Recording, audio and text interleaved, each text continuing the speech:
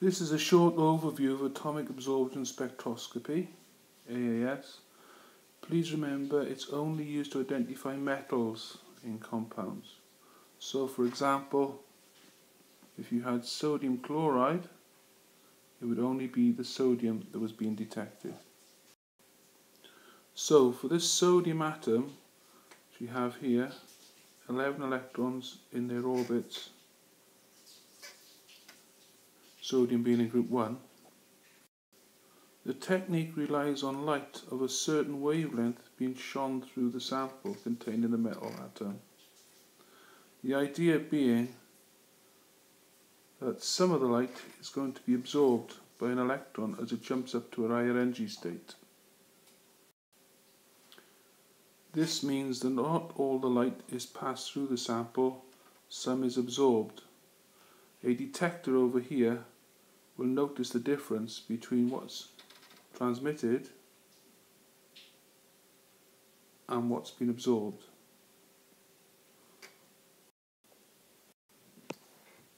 This is a typical setup for some atomic absorption spectroscopy. This is our transmitter. The light travels through the flame and any light transmitted collects on a detector here and the signal is put out on a TV monitor. This piece of apparatus is designed to suck up a solution of your sample. It gets mixed with a, a volatile and flammable gas so that when it gets into the flame it burns well and produces atoms of the metal that you're analysing. So Imagine you have a transmitted wave passing through the flame sample. Signal is going to here. in this case we have a solution of sodium chloride. As the sample gets drawn up and into the flame, these atoms are in the right kind of state to absorb this light energy travelling through the apparatus. So this time some of the light waves get absorbed by these atoms. This means your detector shows a absorbance which is shown on the computer monitor.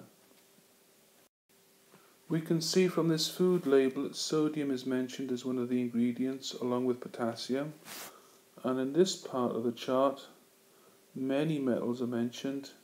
We have calcium, iron, zinc, and so on. So the idea is that tiny traces of metals are important for our health, and we can use atomic absorption spectroscopy to analyze all sorts of materials from soil